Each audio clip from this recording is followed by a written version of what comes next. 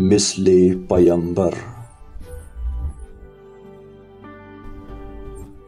लोग इस कदर खामोश थे कि इनके दिलों की धड़कनें सुनी जा सकती थीं।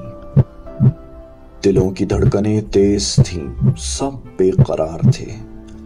कुछ लोग सरगोशियाँ कर रहे थे कि मोहम्मद इस हुक्म से हमें मौत के मुँह में धकेल रहे हैं। हज़रत मोहम्मद सल्लल्लाहु अलैहि वसल्लम पर एक संगीन हुक्म नाजिल हुआ था। खुदा ने मुशकिन मक्का को धमकी दी थी कि या मुसलमान हो जाएँ या मक्के से बाहर निकल जाएँ। और एक शख्स को यह हुक्म मुशकिन मक्का तक पहुंचाना था। बहस ये थी कि कौन इस खतरनाक काम को अंजाम दे। कुछ लोग आपस में कहने लगे कि फला शख्स इस काम के लिए मुनासिब है, क्योंकि वो आज भी मुशरकिन का दोस्त है और जंगों में तलवार नहीं चलाता।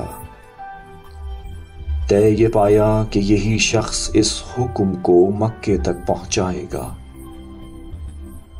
अभी वो शख्स मदीने से ज़्यादा दूर न हुआ था कि जिब्राइल एक नया पैगाम लाए। कि या इस काम को खुद अंजाम दो या कोई अपने जैसा मामूर करो। हज़रत मोहम्मद सल्लल्लाहु अलैहि वसल्लम ने मौला अली सलाम को हुक्म दिया कि जल्द खुद को इस शख्स तक पहुंचाएँ और ये पैगाम बजाते खुद मक्का के लोगों को सुनाएँ। मौला अली सलाम ने फ़ौरन खुद को इस शख्स तक पहुँचाया और रसूलुल्लाह का हुक्म सुनाया।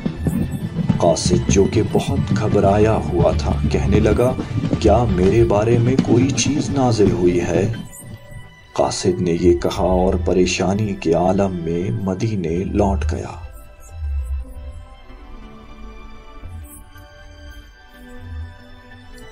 मौला अली ने चंद रोज में खुद को मक्के पहुँचाया। और लोगों को खुदा के घर के करीब जमा किया। लोगों की निगाहों में गुस्सा साफ़ ज़ाहिर था। कुछ लोगों की ख्वाहिश थी कि अगर इस जवान से जंग करने की ज़रूरत होती तो इसको टुकड़े टुकड़े कर देते। ये कीने और गजब मौला अली सलाम के दिल में खौफ पैदा न कर सका। आप ठहर ठहर कर और कात्याना अंदाज में अपनी बात कहते रहे और खुदा का पैगाम लफ्ज ब लफ्ज बयान किया। चंद रोज के बाद अमीर अमीरमिन सलाम ने मदीना की राह ली।